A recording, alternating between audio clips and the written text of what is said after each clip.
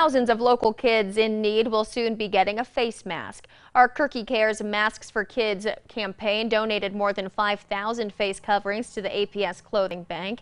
That is all thanks to generous donations from you, our viewers, and the Assistance League of Albuquerque. The face coverings will go to APS Title I schools for families that need them.